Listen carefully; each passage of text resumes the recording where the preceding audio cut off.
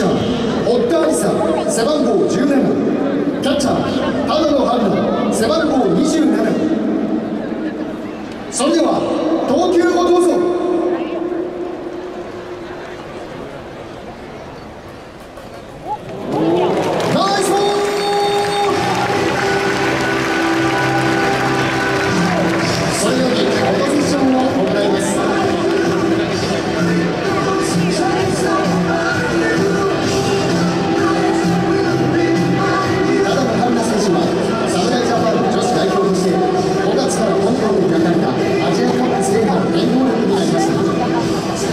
久選手はアジアカップに引き続き侍ジャパン女子代表に選出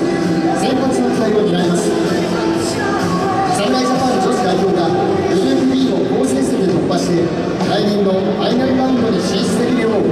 皆様どうぞ熱いご声援をお送りくださいありがとうございましたセレモニアリーを務めていただきました侍ジャパン女子代表の田愛沙選手に2倍賞